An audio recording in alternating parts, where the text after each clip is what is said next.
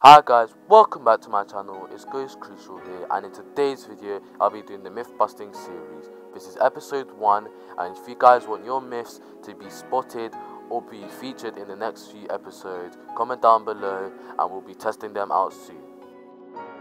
Enjoy any part of this video, consider liking as we're going to be smashing a like goal of 10 likes. If you do enjoy the content, consider subscribing as only 5% of you guys are subscribed. But let's get into the first myth. Can you save a helicopter with a campfire?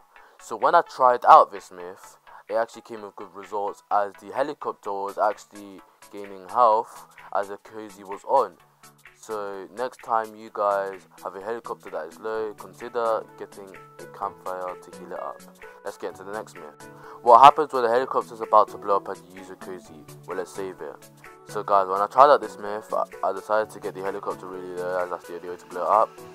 Then I decided to use the cozy and shot my attack towards it. And it started to blow up and it literally did nothing. It didn't heal it anything and it just blew up. So guys, I recommend not doing this because you're probably going to get yourself killed. Let's get to the next myth. Do henchmen take fall damage? When I tried this out, it actually was kind of hard as literally there were so many people on the map trying to fight at different henchman spots. So we literally found the right spot and we went there. My friend was driving the helicopter and I was the one with the harpoon gun. And actually, when we tried this, at first we thought we would make it, but eventually I actually pulled the henchman and it actually did fall damage, which was actually shocking to me. So this myth is proven to actually deal fall damage to henchmen, so yeah.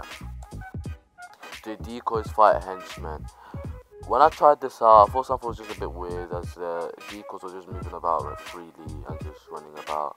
So I decided to try this again and the decoys would actually find the henchmen but only that the henchman is just superior in general, and the decoys wouldn't win against them anyway.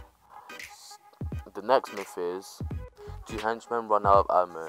I went over to the grotto and went over to one henchman that had a disguise beef near them, and I decided to let the henchman just spray, and he actually got a couple shots on me. So I decided to disguise myself and also get a chest for myself so I can get a weapon. After that, I sprayed him down until he got knocked, then finished him, leaving him with 18 light bullets and 5 bullets left within his gun, showing that henchmen do not run out ammo. Alright guys, I'm going to wrap up the video here. Please smash the like button if you enjoyed. Comment down below for more myths that could be tested out in future videos just like this and consider subscribing as a, if you enjoy the content and I'll be doing more content like this in the future. Anyways guys, I'll see you in my next video. Peace out.